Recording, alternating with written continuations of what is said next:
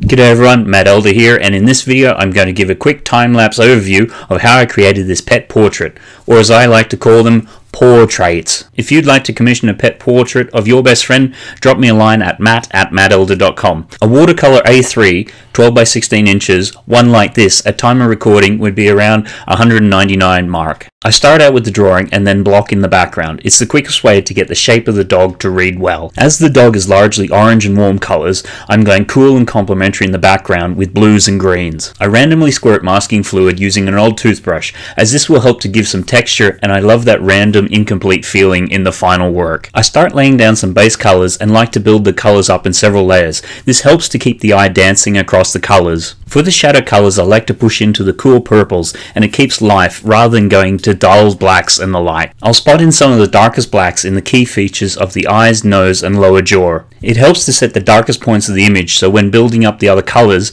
I tonally know where the range can get to. Continue to lay in colours to give variety.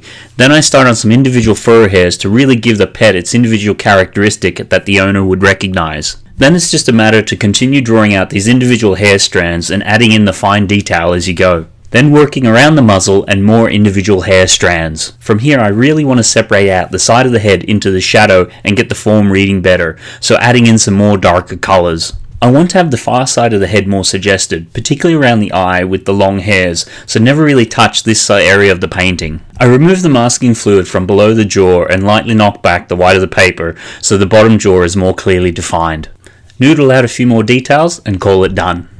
Here is the finalized image. If you'd like to commission a pet pawtrait of your best friend, drop an email to matt at mattelder.com. Also works great as a gift to your significant other or family member.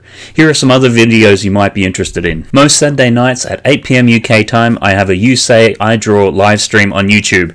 You come along and in the chat, tell me what to draw, and I do some quick sketches. Be sure to pop by and say g'day. If you enjoyed this video, hit that thumbs up button. Until next time, when we talk about all things lifestyle.